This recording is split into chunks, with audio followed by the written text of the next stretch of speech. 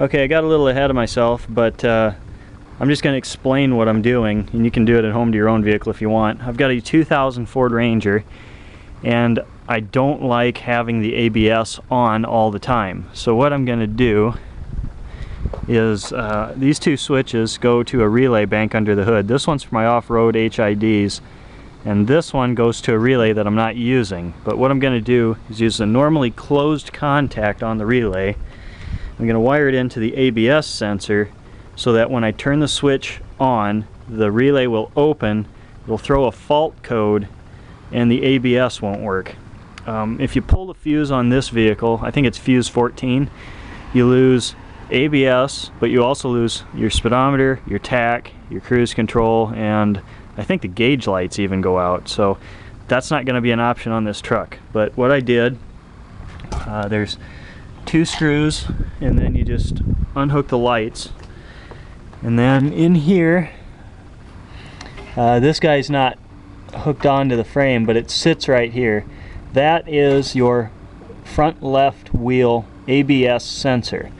I couldn't really work with the wires in there. So what I did was I got underneath the truck and how I found it, uh, I just followed this wire up and around and eventually it leads me to this. This plugs into that plug I showed you earlier and this coating is on pretty loose so what I'm going to do is just cut one of these wires, hook that to the normally closed contact on the relay so when you break one of these, fault code ABS doesn't work. And then if you want your ABS to work again after you've thrown the switch, you just shut the switch off, make these wires uh, conductive again, uh, in and out, and then you shut your vehicle off, turn it back on, it'll reset the fault code, you're good to go. Okay, I'm gonna test my ABS defeat switch.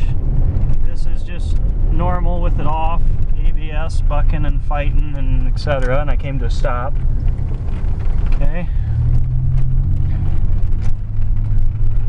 And now I'm just gonna flick the switch. ABS light came on. I still have all my gauges. I didn't I'm not doing the pull the fuse method, which you could do if you're just off-roading, because you're not going to use speedometer anyway. And she locked up. And I think I stopped quicker doing that. Okay, now to uh, reset, put it in park, shut my switch off, turn the truck off, turn the truck back on, no ABS light. And just jammed on the brakes there, the ABS is working again. So that's successful modification.